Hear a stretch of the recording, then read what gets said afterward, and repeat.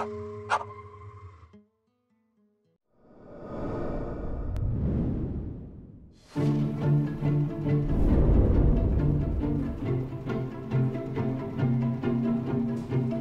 זה באמת שבמשפחה אחת יש שני אנשים שעוסקים בתחום שהוא כל כך צר?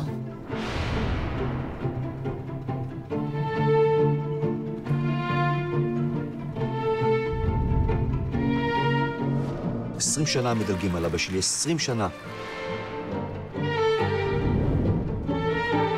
שמחה לבשר לך שהוחלט השנה להעניק לך את פרס ישראל. מזל טוב.